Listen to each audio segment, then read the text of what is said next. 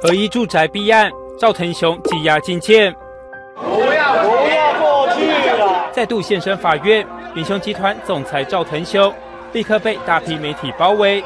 他和开发部副总魏春雄涉及桃园八德合一住宅弊案，前天获台北地院裁定，分别以五百万和一百万交保。检方不服，提立即抗告。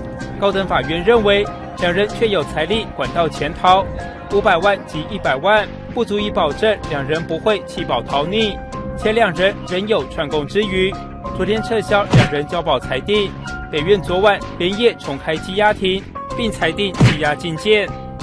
办案人员查出，桃园县副县长叶世文透过北科大退休教授蔡仁惠牵线，与魏春雄接触。今年四月，远雄以十二亿九千五百万标得巴德合一住宅案。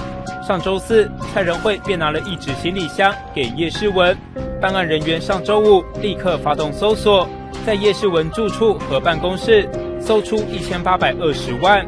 叶世文和蔡仁惠前天遭法院裁定收押禁见。据了解，检方昨天另外得到线报，指远雄疑似要将相关文件资料销毁。已在第一时间查扣证物，并提出这项新事证。动新闻台北报道。